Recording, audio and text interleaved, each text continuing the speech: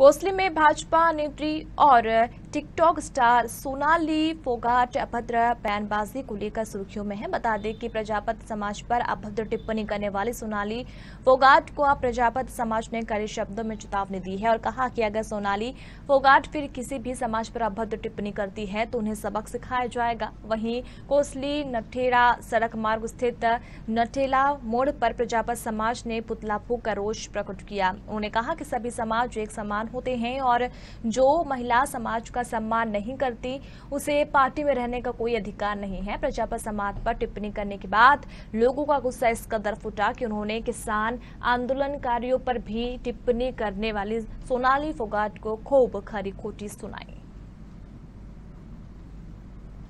सोनाली फोगाट जी का पुतला इसलिए फूका गया है क्योंकि कई दिन से एक वीडियो वायरल हो रहा है जिसमें ना प्रजापति समाज के लिए कुछ अभद्र भाषा का प्रयोग कर रही है। सोनाली फोगाट जी ठीक है?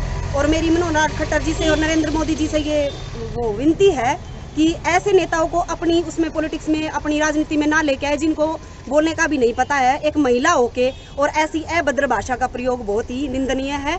ठीक है वो समाज को क्या क्या ज्ञान देंगी? क्या मतलब एक वो आदमी जारी करेंगी समाज के लिए? क्या समीक्षा ज़ाहिर करती हैं? क्या कुछ भी नहीं? मतलब एक औरत होके और एक नेत्री होके मैं तो ये कहती हूँ ऐसी महिलाओं को नेत्री बनने का कोई हक नहीं है। मेरे नज़रिए से ना वो एक नेत्री है ना ही एक वो महिला है। जो है भद्र भाषा को जो यूज़ किया है इसकी वीडियो क्लिप अभी जो सोशल मीडिया के ऊपर वायरल सभी उसको देख भी रहे हैं।